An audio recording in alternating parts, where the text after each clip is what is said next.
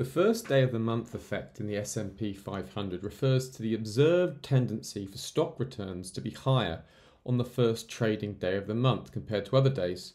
Now, this phenomenon has been seen in various financial markets, and of course, it's particularly interesting to traders. Now, the reason for this effect is varied. It comes from portfolio rebalancing, automatic investments, you know, many retirement accounts.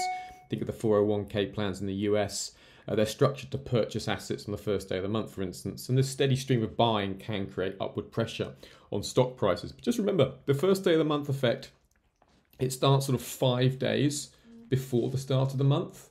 So you tend to see this upside building five days before the start of the month, and it runs sort of a few days after the end of the month. And you can see here over this 25 year period, it's seen an annualized return of 15.29%, 64% winning trades, and then a median return of 0.74%. So, pretty significant gains. Now, just remember the problem and the weakness with this is that seasonal patterns like this don't necessarily repeat themselves each and every time, so it's not a guaranteed month by month, despite the, the fact that it's had 192 gains and only 108 losses over the last 300 months.